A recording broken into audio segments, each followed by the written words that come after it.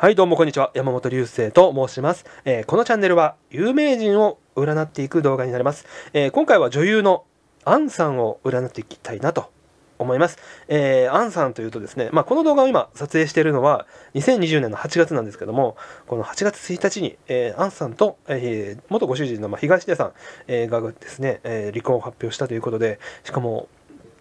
アンさんというと、まあ、お父様が、えーはあの俳優のハリウッドスターの渡辺謙さんですからね。なかなかちょっと特殊というかあのーなかなかちょっと変わったあの運命式をもしかしたら持ってるんじゃないかなと思って興味を持ってちょっと占ってみようかなと思いました、えーということでですねまあ目次はこちら、えーアンさんを占ってみるとアンさんの性格を占ってみる。アンさんのまあ、えー親や家庭環境についてそして今後についてをまあ占っていきたいなと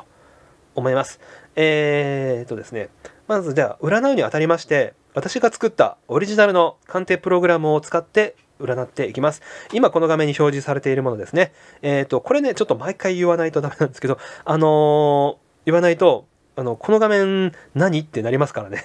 はい、あのーこう占いのプログラムをこう使いながらこう進めていきます。で他の占いと違いましてですね、まあ、このプログラムを使ってやっていくので、まあ、細かい情報を計算して出してます。でこの動画を今ご覧のあなたもこの動画でやってるように同じように使うことができます。えーこの動画の概要欄に、えーリンクがこうありますので、こちらをクリックしていただけますと、こちらから使えます。えー例えば、まあ、自分の性格のこととか、あの自分の性格のことってあんまりよくわかんないじゃないですか。でそういうのが結構細かく分かったりとか、あと自分のにはどんな才能があるか、どんな仕事が向いているか、えー自分の人生の流れとかね、あと結婚とか引っ越しとかねやるとうまくいかない時期があるんですよ。今回のアンサーの動画でも実はそこちょっとそこ触れるんですけど、えーそういうね人生の危険な時期なんかをですね、まあ、分かったりできるので、まあ、もしそういうのを知る知っておくとそこを避けれるじゃないですかだからあの知っておくだけでもかなりいいんじゃないかなと思うんですねでこの動画は、まあまあ、趣味でやってますので、まあ、かなり安い値段で、まあ、あの出してますんで、えーよかったらあの使ってみてくださいはい。ということで、えーあとそうですね、えーこの動画でお話ししている内容というのはあくまでも占った結果であって、実際の性格などとは、えー何の関係もありませんので、あくまでも占った結果をお伝えしていきます。ということで、いきましょう。で、こちらが、まあ、アンサーを表す要素なんですけれども、皆さんが使うプログラム上にはこちらは表示されません。あくまでも、えーこの動画を撮影用に、この、これを表示させてるだけです。ということで、ここに性格とか、えー、と仕事とか恋愛家庭環境とか危険な年とか人生の流れとかこうあるんですけどもそれらを事前にちょっとまとめてますのでそれを表示させたいなと思います、えーまずは性格の特徴から、えー、霹靂家と呼ばれるタイプで、えーまあ、同じタイプで言うとまあそうですね。乙武さんとかあとスタップ細胞のおぼかたさん、えー、とゲーム配信者の、まあ、加藤純一さん。あと勝慎太郎さんなんかが、まあ、このタイプ。霹靂家と呼ばれるタイプで、えー運命の変化が激しく人生に波乱が多い。面倒見がいい、えー現実的用心深い、えー周囲の目を気にしない。堅実的な性格、え気まぐれで勝手な性格になりやすかったり、えー礼儀に欠け無節操になりやすい。忍耐力に忍え忍耐力があり、えー一度取り掛かったことを途中で投げ出さない、えー怖いもの知らず。特殊な出来事に巻き込まれる。おおらかで包容力がある。金銭に問題が起きやすい、えーお金が入ってくるが出ていきやすいっていったのがまあ平均感に見られるタイプなんですけどもまあそうですね。あのリーダータイプの人に結構こう霹靂感の人はまあ多いかな。うん。と思いますね。まああとそうですね。えっ、とここね、まあ、全体的に見てどうなのかっていうのをちょっとまあ私個人的に占ってみて思ったことをじゃあちょっと言うと、まあ、全体的に見てまず華やかであと性格は優しくて、まあ、サービス精神旺盛。話すと、えーかなり面白い人だと思うんですけどで現実的、えーでよく物事を考える、えーこれはだから親とか家庭環境の影響かなと。で文武両道に優れる、えー何かに縛られたり出られないようなえー状態の暗示があります。そして、えーこれらは、まあ、ゆこれはあの有名人とか売れてるタレントさんによく見られますね。で、アンさんはその要素が結構たくさんあります。あの売れてるタレントさんの要素ですね。はい。が、まあ、いくつかあるなというのと、まあ、基本的にアンさんはね、見てて思ったのは、すごく真面目な方だなというのと、仕事をちゃんとこなす人だなっていうふうに全体見てて思いましたね。あのー確かにお父様はすごく有名な方ですけどもアンさん自体が本当に一つ一つの仕事を一生懸命あの全力であのやってきたからこそ周囲の信頼を得てで次につながってや売れてったのかなというふうになんか見てて思いましたね。それぐらいあの仕事に対してすごく一生懸命で真面目な方で、えー、誠実な方だなというふうに占ってて思いましたね。あの本当にタレントイメージ通りであのなんて言えばいいんですかね。あの本当にしっかりしてるというかあのもう誠実さというのがすごく伝わってくるあのなと、まあ、占ってて思いました。はい、あの本当にいいいいイメージがありますね。あの私個人的にこう占って思いました。ということで、え、まあ、中身をちょっと見ていきましょう。えっ、とそうですね人をまとめる仕事を、まあ、自分がリーダーやりますっていうよりも勝手にこう自分がまとめる仕事リーダー的な立場になることがこのタイプの人はまあ多かったりしますね。であと性格はもうおおらかであって穏やかですね。あのあんまり怒らない人ですね。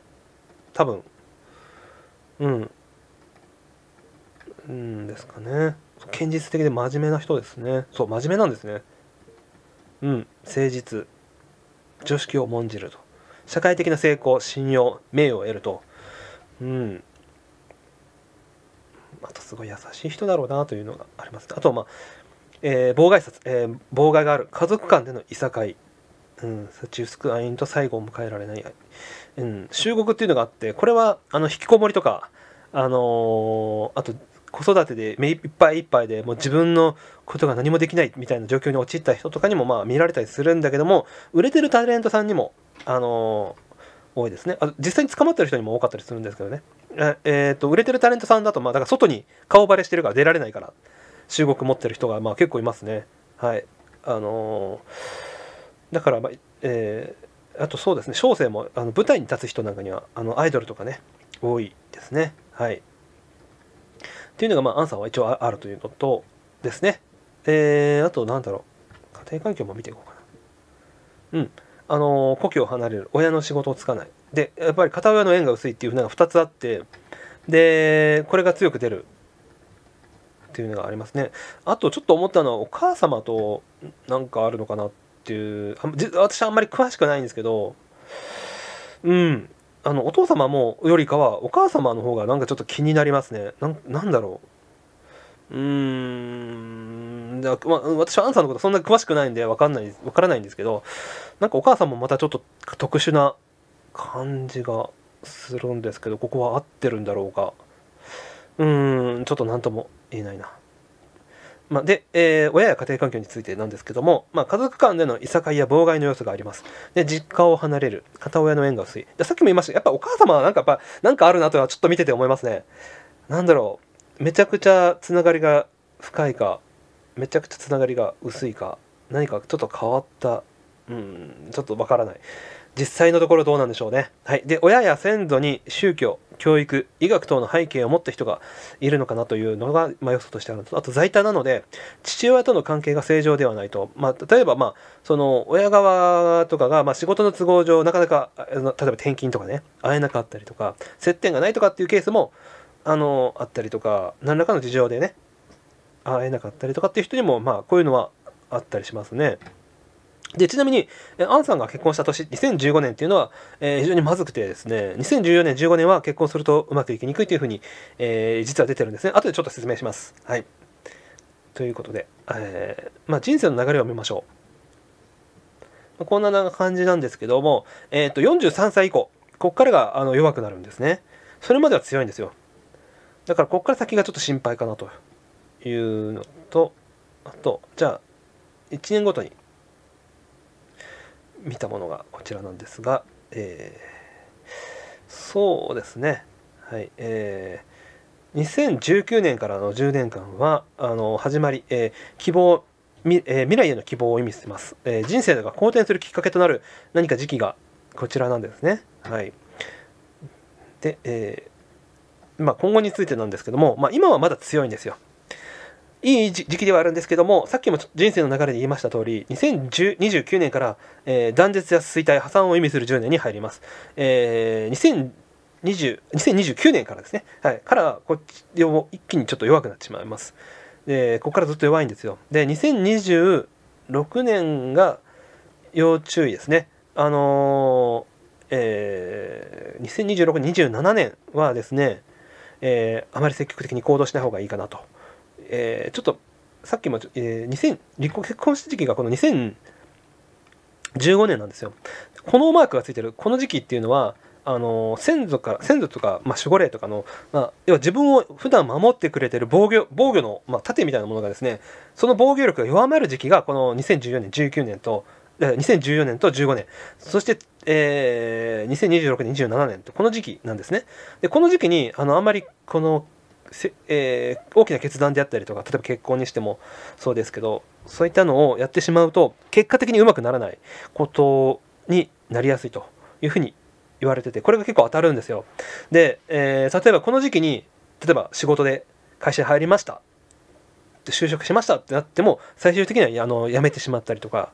あのうまくいかなかったりする時期があるんですけどここもやっぱりアンさん当てはまってたなというかこの時期に結婚してしまってうまくいかなかった。のかなというふうには一応出てはいます。はいという感じで、それと同じように、だから26年、27年も実はちょっとまずくて、この時期はあまり、その、積極的に行動しない方がいいかなと。で、えー、22年、23、25はですね、あの、出会いが多い時期なので、この時期、あのー、もし、例えば、あの、新しいパートナーを得ようと思うんだったら、この時期、なんかが、まあ、いいかなと。で、26、27はちょっと避けてもらって、ここがちょっとね、29年から弱いんで、ここから先、一人で乗り越えるとちょっとしんどいかもしれないので、誰かパートナーいた方がいいんじゃないかなとは、占ってて思いますね。はい。ということで、えー、まあ、こんな感じで皆さんも、あの占っていろんなことが分かったりできるので、よかったら、あのー、概要欄にこのリンクありますので、こちらから、あのー、鑑定プログラム使ってみてください。他にもいろんな方を今後たくさん占っていきますので、チャンネル登録もよろしくお願いします。え、以上、女優のアンさんを占ってみました。ご視聴ありがとうございました。